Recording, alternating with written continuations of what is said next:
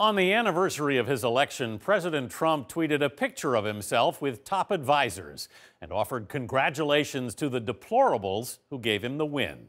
One year later, how's he doing with his supporters? Here's Dean Reynolds. And you've been here for how long? In the years since the election, we've spoken to a variety of Trump supporters from Iowa to Ohio, Illinois to Indiana, Michigan, Arizona, and Wisconsin, all of them joined by their common devotion to the man in the White House. So it was today in Daviess County, Kentucky, which Donald Trump won by more than 30 points. Well, yeah, he's doing all right. And down at Dee's Diner in Owensboro, support for the president is holding firm. He's had to fight his way through everything. Bill James is a registered Democrat. Nobody gives him benefit of the doubt. We wanted to know what kept these men with Mr. Trump. What accomplishment were you looking for? Re- repeal of Obamacare and tax cuts.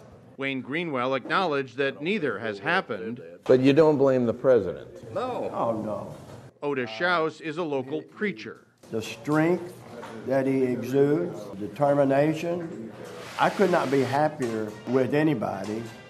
Eric Belcher is still with Mr. Trump despite this. What's his major accomplishment, would you say? Um, none at the moment.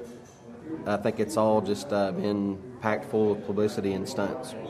They couldn't care less about the Mueller investigation or North Korea.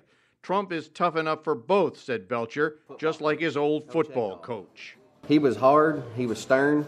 If you screwed up, he would drill you in the head with a 100 mile an hour football. The men here said Mr. Trump may not be a role model, but he's a fighter, their fighter.